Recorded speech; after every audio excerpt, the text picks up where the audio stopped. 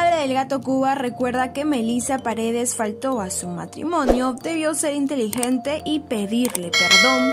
Jorge Cuba, ex suegro de Melissa Paredes y padre de Rodrigo Gato Cuba, decidió romper su silencio y volvió a reafirmar que la única culpable de haber deshonrado su matrimonio es la ex conductora de América Hoy, quien además debería pedir disculpas por su comportamiento.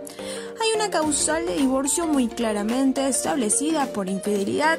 Ella quiere limpiar su imagen que ha sido manchada por su conducta. La que tiene que pedir disculpas es ella. Ella fue la que cometió el error. Ella es la que ha faltado al matrimonio, comenzó diciendo para el programa Amor y Fuego.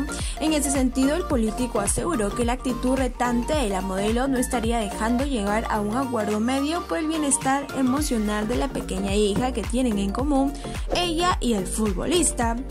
Ella solita está cometiendo error tras error cada vez que sale a hablar con la prensa, no sé si por impulso propio o mal asesoramiento de sus abogados.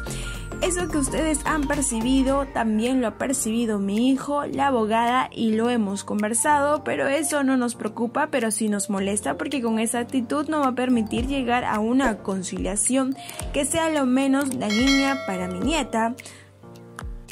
Por otra parte, Jorge Cuba señaló que acompañará a su hijo hasta el final de este proceso legal, pues toda la familia lo viene apoyando, así también como gran parte del público televidente.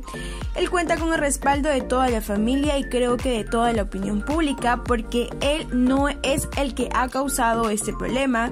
Este problema lo ha causado la otra persona y lo peor de todo, que esta otra persona, en vez de ser inteligente y decir, señores, me equivoqué, discúlpeme, perdónenme, hubiese ahorrado todo esto, pero ella insiste en hacerle creer a todos que todo esto se ha ocasionado por el comunicado que sacó Rodrigo y no es así. Finalizó diciendo, es suscribirte al canal W Espectáculos y activar la campanita de notificaciones. Nos vemos en el próximo video.